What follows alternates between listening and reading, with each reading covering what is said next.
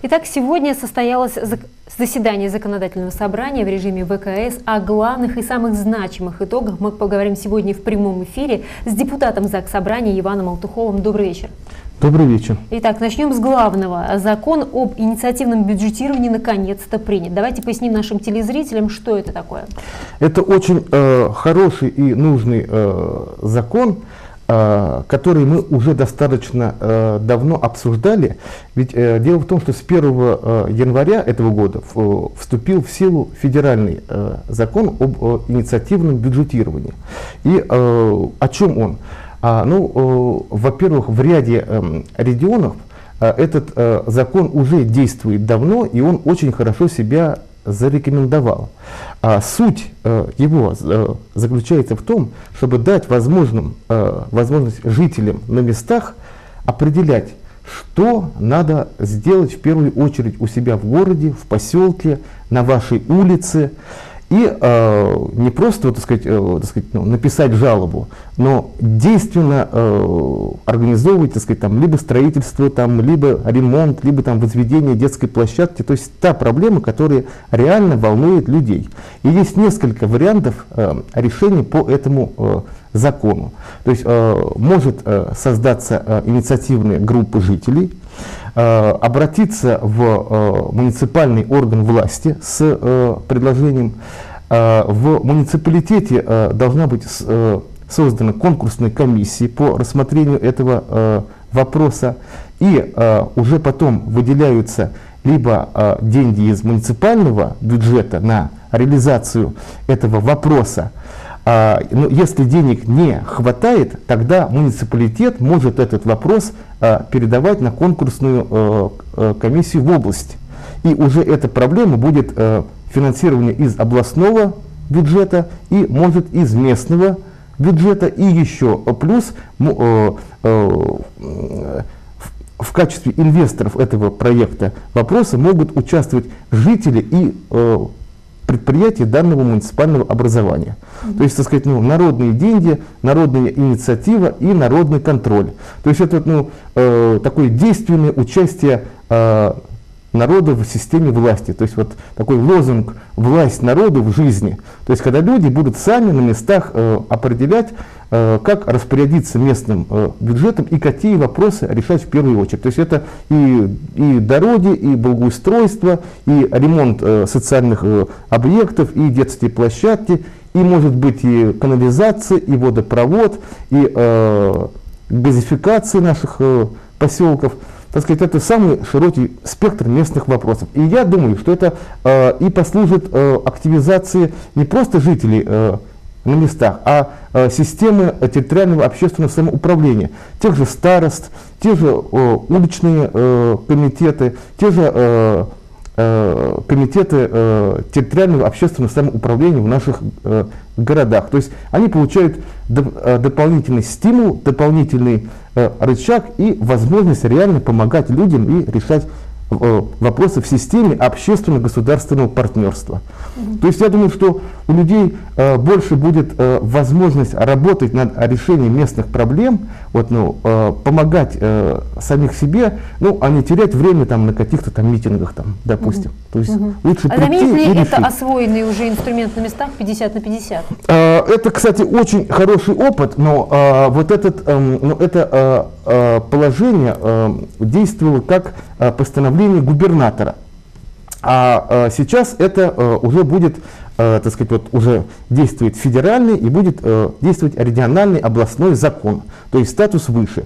И одно другому не э, противоречит. Естественно, э, еще пока э, система финансирования будет э, уточняться, и э, мы будем делать все, чтобы найти э, дополнительные ресурсы на э, финансирование этого закона. Потому что 50 э, на 50 очень хорошая программа, очень отлично себя зарекомендовала и действительно и инициативные группы жителей и сельские старосты, э, так сказать, с инициативами и, и так сказать, органы местного э, самоуправления и через депутатов на региональный уровень э, выходит. Но этот закон, он, так сказать, ну, э, более так сказать, четко э, закрепляет э, полномочия и э, расширяет так сказать, возможности для наших жителей. То есть и мы будем так сказать, ну, искать дополнительные деньги. Одно другому не противоречит, безусловно.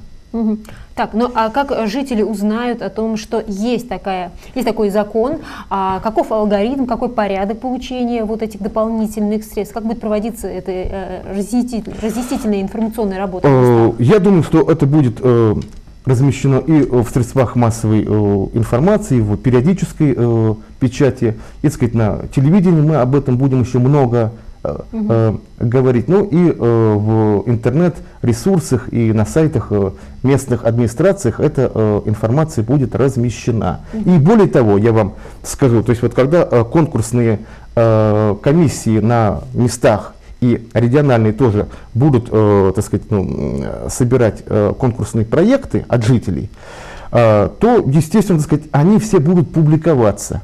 То есть люди будут э, знать, так сказать, вот, э, значит, там вот норма, вот он такой вот у нас вот э, закон, вот, и здесь вот указано, что, так сказать, э, инициативная группа жителей подает свою инициативу должным образом оформленную, так сказать, в муниципалитет, так сказать, на конкурсную комиссию. Конкурсная комиссия в течение трех дней так сказать, э, принимает, рассматривает этот э, вопрос, размещает на сайте э, администрации. Если у сельской э, администрации такой возможности нет, то это будет э, размещено на сайте э, районной э, администрации, э, то есть э, местного самоуправления. Вот, так сказать, и э, уже э, далее будет ну, уже вот, э, проходить сам конкурс, ну, рассмотрение, э, по сути, вот, Э, вот этих предложений. И э, через определенное время э, комиссия должна дать или мотивированный отказ, или, так сказать, дать э, решение о, так сказать, э, ну, о том, что этот проект будет финансироваться и будет работать. То есть там три э, варианта. Либо мотивированно отказать, угу. либо э, принять э, положительные э, решения и, э, так сказать, э, реализовывать этот э, э, проект э, средствами муниципалитета, либо направить на областную конкурсную комиссию, если местных денег здесь не хватает. Угу. То есть вы понимаете, что для муниципалитета э, расширяются и финансовые возможности. Можно э, привлекать будет и областные деньги, и, э, так сказать, и частные ресурсы. А частные э, ресурсы, я подчеркну, не только вот э, ну, какое-то э, софинансирование э, в виде э, денежных э, вливаний, как в положении 50 на 50. Но это может быть и трудовое участие э, жителей, это могут быть и местные э, предприятия, так сказать, там, техникой, какими-то там строй, стройматериалами, то есть любым ресурсом, который нужен для реализации этого проекта. То есть, там, скажем, там строительство дороги, да? То есть, там кто-то песок, кто-то грейдер, кто-то щебенку, есть миру по нитке, uh-huh. можно что-то полезное для людей сделать. Итак, в нашем регионе только начинает действовать эта практика. Вы сказали, что есть регионы, в которых уже до принятия да, федерального проекта уже а, это осваивалось, уже это внедряется. Угу. Каков опыт? Опыт э, да? очень хороший, ну, например, Пермь, там, э, сейчас вот э, не назову э, фамилию, там есть э, депутат Государственной Думы, который непосредственно э, занимается вот этим проектом, и там очень много э, об, ну, обращений, очень много э, сделано добрых дел, и э, очень ну, положительные отзывы от людей. И там активизировалась вот именно общественная работа на местах. Именно вот это вот общественно-государственное партнерство, обратная связь власти с людьми и в то же время и общественный контроль. То есть люди предлагают, люди участвуют и люди контролируют, чтобы этот проект был выполнен на совесть. Угу, Поэтому, так сказать, есть вот и в других регионах тоже очень э, э, положительный опыт. И люди, когда э, ну, понимают, что это не профанация, а это реально работает, и это ну, нацелено на помощь самым простым людям, и вот ну, у нас на местах, то очень активно участвуют. То есть вот видят этот положительный результат. И я считаю, что можно к депутатам к нам обратиться, так сказать, вот э, ну, ко мне я э, с удовольствием э, ну, работаю с людьми. И если есть у кого-то вот такие задумки, можете вот ко мне обратиться, и мы с удовольствием э, вместе сформируем инициативную группу и вместе будем э, ну, обращаться и в муниципалитеты, и на региональный уровень, чтобы выделить нужное финансирование и сделать доброе дело.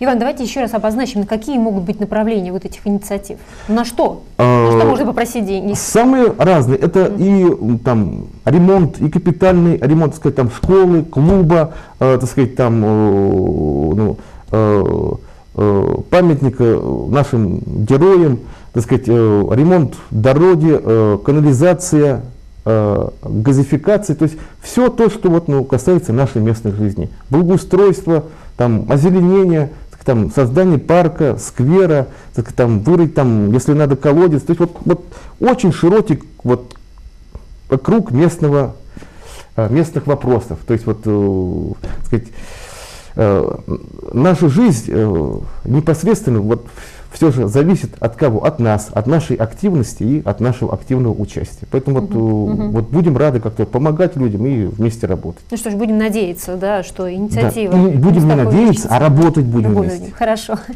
Итак, сегодня приняли закон, дополнительно снижающий налоговую нагрузку да, для организаций, индивидуальных предпринимателей, работающих по патенту или по упрощенной системе налогообложения. Итак, а какие изменения будут в связи с этим законом? А, ну, я вам э, скажу то, что этот э, закон, он очень э, своевременный, и, в, и в ситуации с пандемией, то есть когда и резко снизились доходы, так сказать, и предприятий, организаций, да, и частных предпринимателей, и снизились э, зарплаты у наших жителей, к сожалению. Вот, так сказать, это хоть какая-то мера вот, все же вот, ну, поддержка вот, малого бизнеса и наших э, предприятий. То есть я надеюсь, что это хоть э, как-то поддержит. И мы сейчас думаем, чтобы вот эти меры поддержки еще как-то расширить, но э, вот, ну, хотелось бы и получить также а, ну, обратную связь от наших жителей, от предпринимателей, от э, руководителей вот этих э, предприятий, то есть чем можно вот вам помочь, чтобы вы как-то выжили, чтобы вы развивались, чтобы вы работали, чтобы сохраняли рабочие места и делали полезные дела для нашей экономики. Угу. То есть готовы работать дальше. Угу. А, итак, э, важная очень тема, которую мы тоже не раз поднимаем в наших эфирах, а, это конечно, обращение с бездомными животными. Давно уже назревает тема а, муниципальных приютов, у нас их нет. А, на чьи-то плечи должно лечь, кто должен быть ответственным, а, глава, то есть областные власти, либо все-таки нужно спускать на места. Из истории вопроса, да, пока это э, было э, ну, прерогативой муниципалитетов. Сегодня решили вернуться э, к другой схеме. Почему? Ну вот вы э, видите, что вот э, сложилась такая ситуация очень интересная, mm-hmm. когда все же вот, э, региональный бюджет делает вид, что как будто платит деньги, э, деньги на, так сказать, реализацию вот этих программ, да, а муниципалитеты делают вид, что хоть как-то справляются.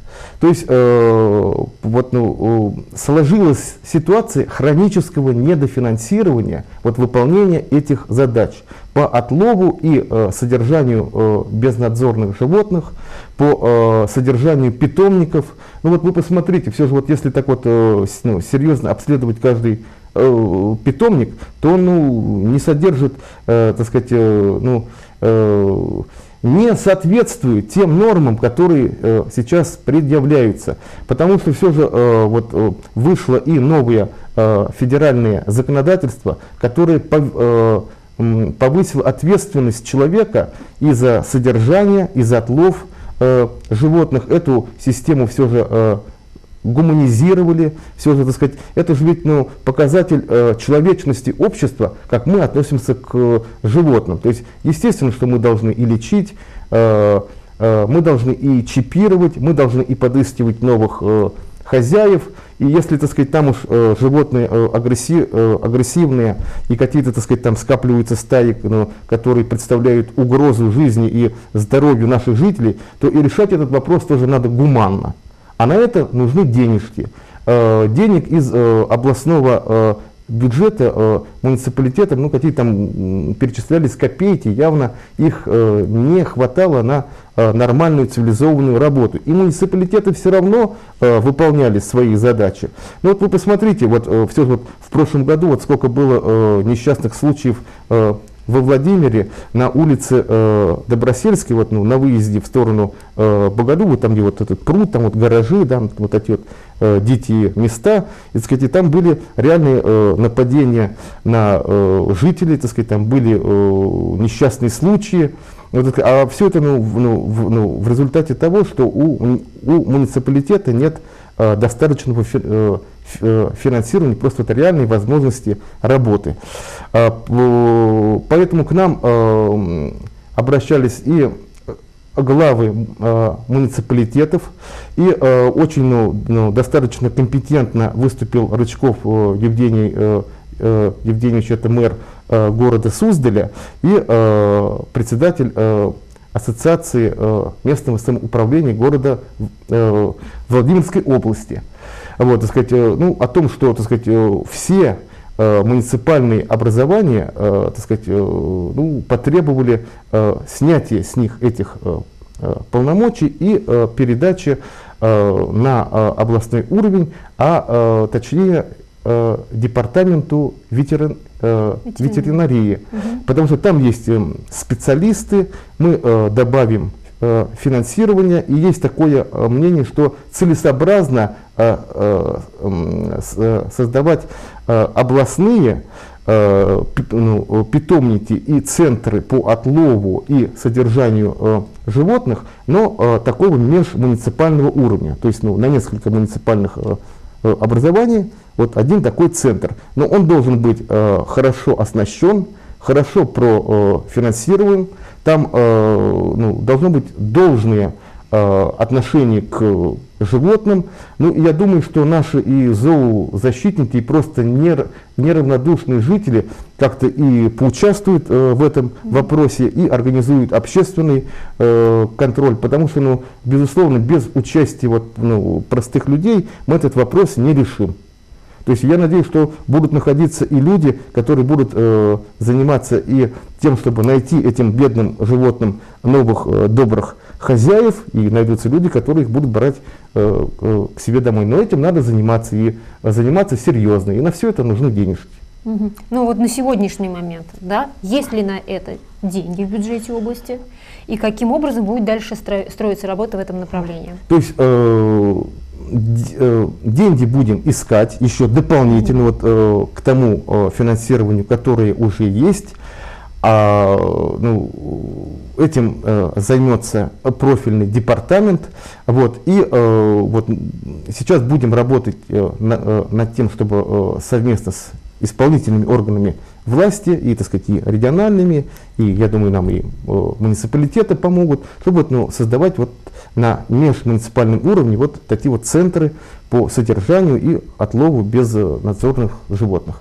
Чтобы в итоге у нас на улице не бегало ни одной бездомной ни собачки, ни кошки. Угу, угу. И тогда будет порядок, ну, надо вот найти деньги и, так сказать, над этим вопросом работать. То есть мы еще не закончили, я призываю вот жителей как-то ну, поддержать и поучаствовать, и проконтролировать. Общественный контроль, он нужен в этом вопросе. Я думаю, что только начали как раз. Да. да продуктивно сегодня.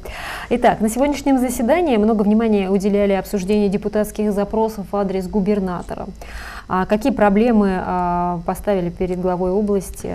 Поясните, пожалуйста. А, у нас угу. вот ряд моих э, коллег э, Э, депутатов, э, так сказать, через, э, законода... через постановление законодательного собрания э, обращались к э, губернатору с э, депутатскими запросами. Я хочу просто пояснить, что такое э, депутатский запрос. Это не, это не прихоть так вот Ивана Павловича Алтухова или там другого депутата, да, это к нам обращаются жители со своими проблемами, со своей болью. Э, порой это массовые э, обращения там, жителей целого города или целого э, так сказать, там, района вот, с, с какой-то проблемой. И если мы совместно с муниципалитетом это не можем решить, только тогда мы этот вопрос уже выносим через, через постановление законодательного собрания на э, нашего уважаемого губернатора. И вот, э, э, э, например, э, уважаемый депутат э, Бирюков Сергей Евгеньевич вместе с уважаемым депутатом Марининым так сказать, вынесли депутатский запрос о капитальном ремонте инфекционного корпуса Кольчугинской районной больницы. То есть о том, что его надо капитально отремонтировать, найти денежки и сделать это, это как можно быстрее, а поскольку это все же э, инфекционный э, корпус, так сказать, вот э, в нашей ситуации с нехваткой, так сказать, коечных мест, с массовым э, заболеванием ковидом, ну это просто жизненно необходимо. Вот и на что губернатор, это как вот э, у Райтина в юморесте вот, э, было, у нас, говорит, шпулек нет, э, пишите, что высылаем вам пипетки, да, помните, вот у Райтина был такой.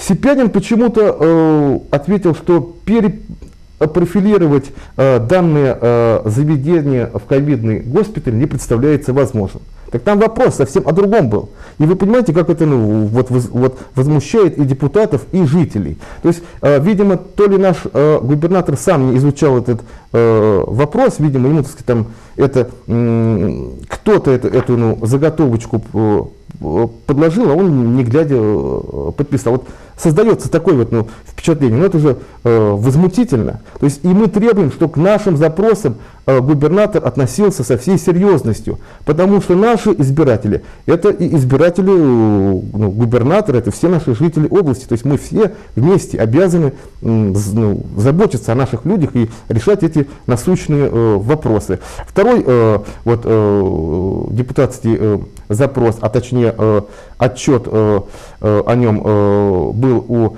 Кавинова Романа Валерьевича. По его инициативе строится дорожная развязка в Вязниках.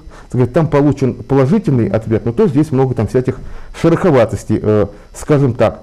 И вот ну, уважаемый депутат Александр Нефедов тоже э, инициировал э, депутатский запрос, и мы получили ответ, но у нас не удовлетворил. Это по северному э, обходу в, э, в Александрове.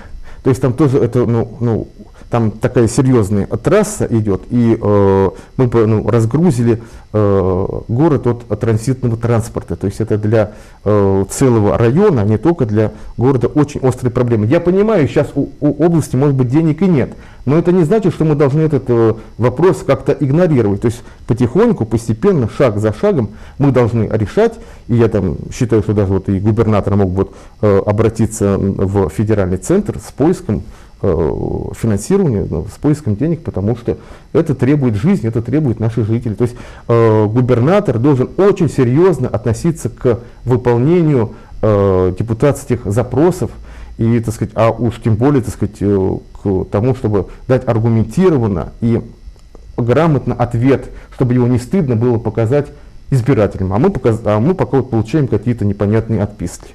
Вот, вот э, такой вот разговор был на Э, заседание законодательного собрания вот по этому вопросу. Ну, это было больше размышления между депутатами ЗАГС собрания или все-таки какие-то инициативы были направлены э, в администрацию? Ну, во-первых, по депутатским запросам вот, было принято решение, что признать неудовлетворительным ответ губернатора. А, и я, так сказать, там э, предложил, но мои коллеги, депутаты еще будут э, обсуждать, что по некоторым вопросам, вот, может быть, там какие-то общественные слушания организовывать, угу. чтобы ну, придать какой-то ну, дополнительный э, статус и нам информировать жителей, как э, решаются самые насущные проблемы. Угу. Вот, понимаете, с участием этих жителей, да, потому что если общественные слушания, то мы пригласим и инициативную группу обязательно. Угу. Угу. Угу. Ну что ж, вернемся после блока коммерческой информации. Оставайтесь с нами, не переключайтесь.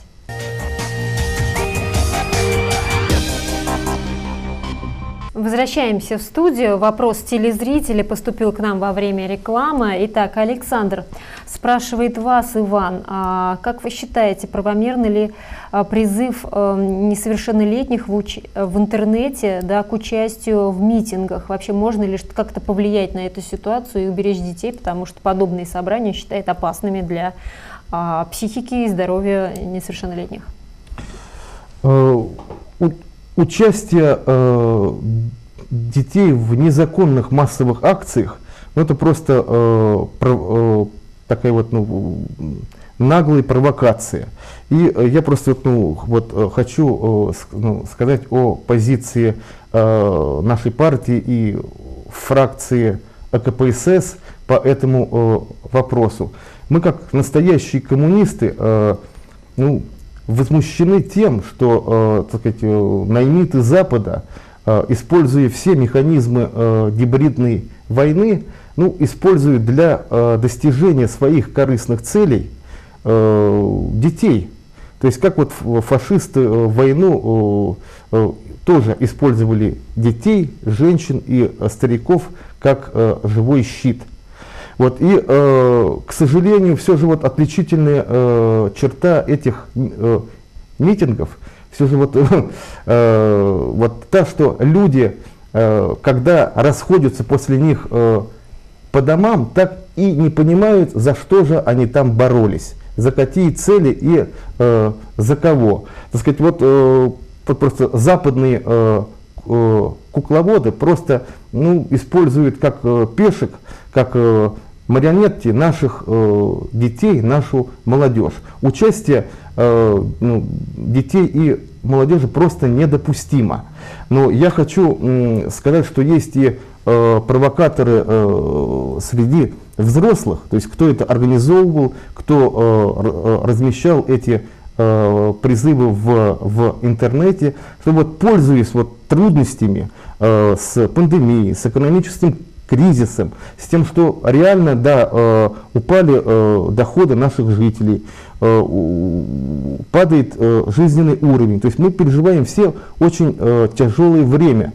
Но ведь и в войну тоже мы переживали, так сказать, очень тяжкие времена. Но это же ведь не значит, что надо было переходить на сторону врага. Да? У нас есть Родина, у нас есть наши традиционные ценности. У нас, так сказать, э, и э, вот, ну, заниматься вот этим ну, предательством, это просто подло и недопустимо. И э, я вот крайне, э, как вот коммунист, вот, ну, возмущен, что, так сказать, вот э, КПРФ, вот э, верхушка э, вот, ну, во Владимирской области, и э, депутаты э, этой фракции в законодательном э, собрании, в общем-то, э, содействовали привлечению, вот может быть не напрямую, может быть косвенно, ну как вот их помощники э, были э, напрямую э, организаторами и активными участниками э, вот этих э, незаконных э, массовых акций. Их даже э, э, задержали, э, некоторых э, э, э, посадили в изолятор временного содержания. И вот некоторые э, вот, областные э, депутаты от КПРФ вот я их уже не могу назвать э, коммунистами. Это лже-коммунисты, которые э, работают на западных провокаторов, вот, ну, которые так вот ну, используют э, наших э, э, детей. То есть они э, ну, ну, готовы идти на любые провокации, на любые риски. Наши дети для них пешки, лишь бы только вот, э, ну, бороться за кусок власти, пользуясь нашими трудностями. Вот, так сказать, э, вот, и, вот группа этих вот э, депутатов, э, так сказать, э, псевдокоммунистов, я их только так вот, вот могу назвать, являлись, так сказать, к руководству изолятора временного содержания и требовали их туда допустить. Их, конечно, туда не, не пустили, в результате чего был крик, виск о нарушении там каких-то прав, о том, что, так сказать, ну, ущемлены полномочий э, э, депутатов, но это ведь ну, совсем э, не так. Безотлагательным приемом мы, областные депутаты, пользуемся в органах местной и областной государственной власти. А, так сказать, правоохранительные органы и, так сказать, и, система УФСИН – это государственная власть. И депутат имеет право там быть, но если он делегирован решением то есть постановлением законодательного собрания. Если э, депутат не делегирован, а идет сам э, э, по себе, то он превышает свои полномочия. Понимаете, это четко написано в законе. И вот, э, вот группа вот этих вот э, э, э, депутатов вот сейчас вот возмущаются, но они не обращались в законодательное собрание с просьбой их делегировать, понимаете? Mm-hmm. То есть вот идет какая-то вот, э, подмена э, понятий. И что я хочу еще э, сказать, что э, КПСС э, выступает против э, незаконных э, массовых митингов, массовых мероприятий, незаконных, Э, на которых может быть э, причинен ущерб э, здоровью и психике нашим детям. То есть это подло использовать несовершеннолетних.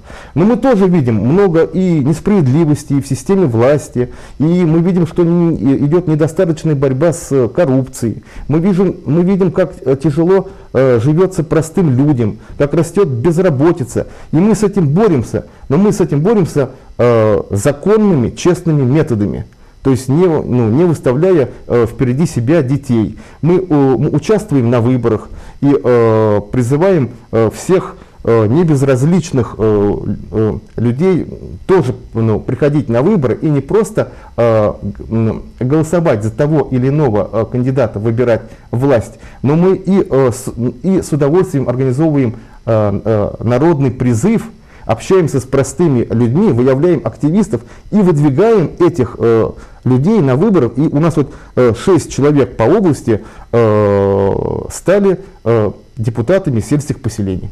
То есть это вот самые вот простые люди, которые изъявили желание, то есть разделяют наши цели, задачи и, и взгляды. Сейчас мы с ними э, работаем э, в сельских поселениях. То есть, э, более того, мы и э, формируем и избирательные комиссии, то есть ну, направляем наших представителей. И, так сказать, на э, самый низовой уровень и на уровень э, территориальных комиссий. Я вот призываю всех людей, так сказать, ну, обращаться к нам. Мы рады активности, мы, мы рады небезразличным людям и готовы всегда поддерживать. Вот. И вот, очень, вот очень важно, вот я хочу тоже вот, ну, подчеркнуть, что есть такая народная мудрость. Учись доброму э, дурное на ум не пойдет.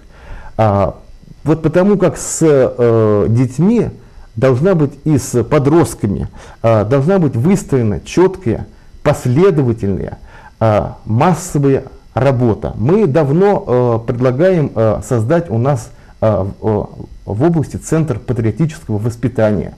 И, я, и, и вот, ну, ну, насколько помню, мы уже на эту тему вот в этой студии уже беседовали.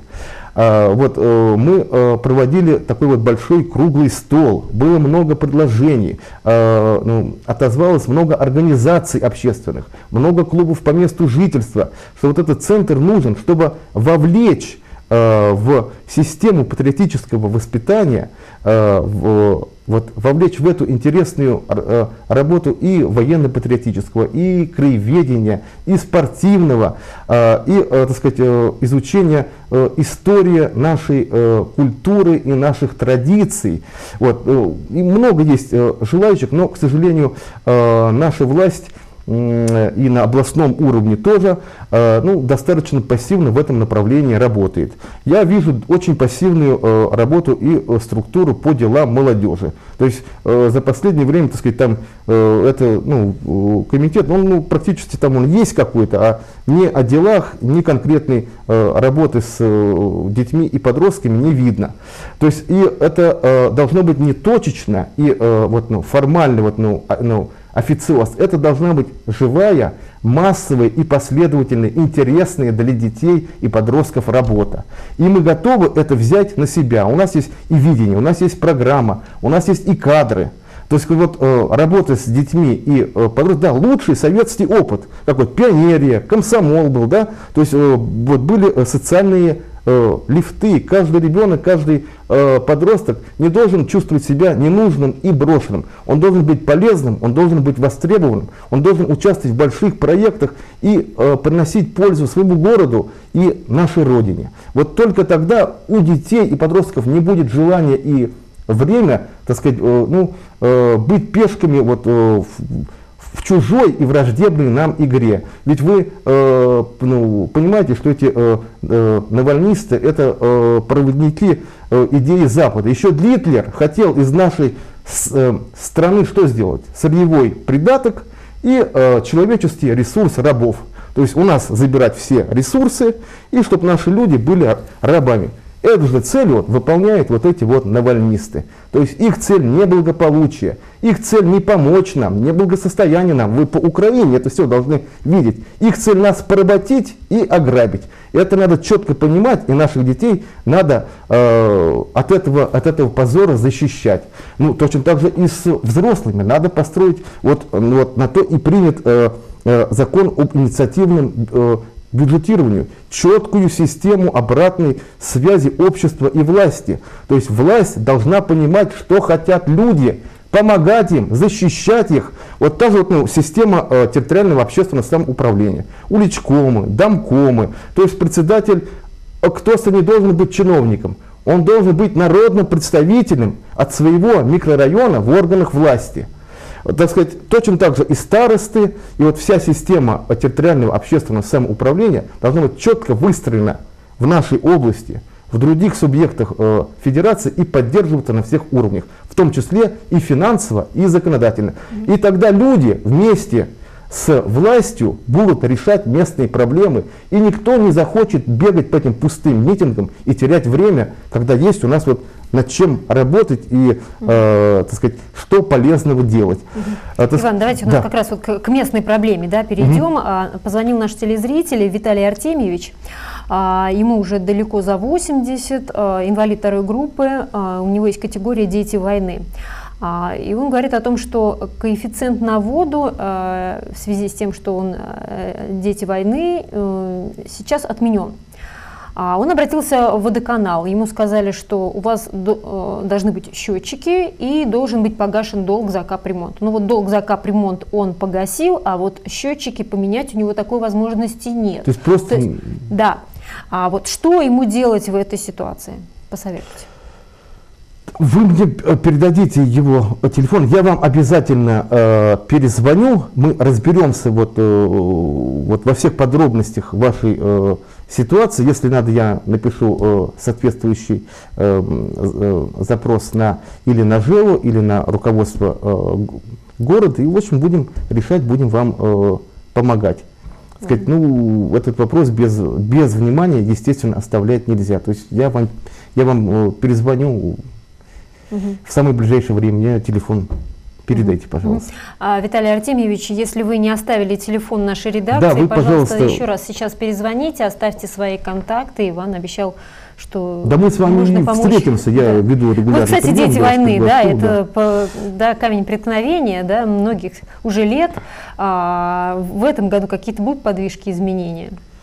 А, ну, как вы знаете, что мы, так сказать, э, вот уже ну, совсем недавно угу. вот, э, приняли закон о детях войны, так, и э, то, во время принятия было очень много споров, ведь угу. вначале только думали принять рамочный, а уже потом только вот в результате споров, в результате встреч с жителями, так сказать, и э, приняли решение, чтобы наполнить его реальными льготами. Это и 25 процентов за услуги э, ЖКХ, появляется льгота у детей э, войны.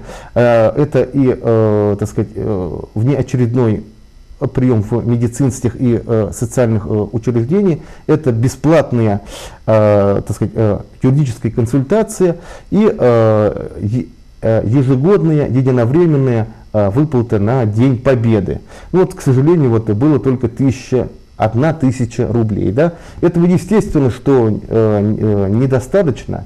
Э, и в, в ряде... этом году она тоже будет?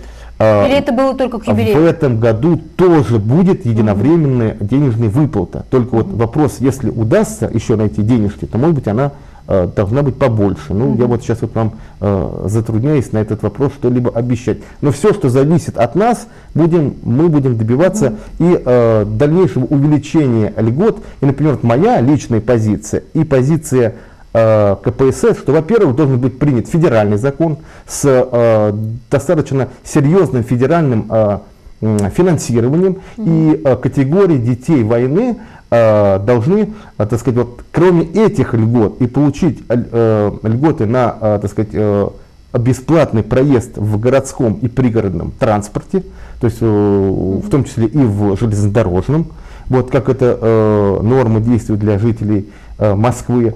Вот, так сказать, и э, я глубоко убежден, что детям войны надо найти деньги на ежемесячные э, э на ежемесячные денежные выплаты. Угу. И не по 300 рублей, как э, тут кто-то вот, ну, э, предлагал, а так сказать, там, ну, это ну, э, ну, должна быть ощутимая добавка uh-huh, к пенсии, так сказать, там, э, так сказать, там, ну, хотя бы там 5 тысяч, да, uh-huh. но надо искать деньги и надо постоянно э, э, надоедать нашим федеральным коллегам и в Государственной Думе, что мы и будем делать. И сейчас вот начнутся выборы, и мы им поставим важные условия, будем поддерживать тех, кто будет реально помогать людям, и в том числе по этому вопросу. Итак, сегодня мы подводили э, важные итоги заседания законодательного собрания вместе с депутатом Иваном Туховым. Спасибо огромное. До новых встреч, до новых проектов законов. Спасибо вам и э, вот от вас, э, уважаемые жители, вот э, мы всегда ждем поддержки, активности и э, фракция э, КПСС в своей деятельности всегда опирается на нужды людей и э, на вашу инициативу и на ваши просьбы. То есть я, Алтухов Иван Павлович, всегда готов помочь и всегда готов работать вместе. Спасибо вам большое. Спасибо.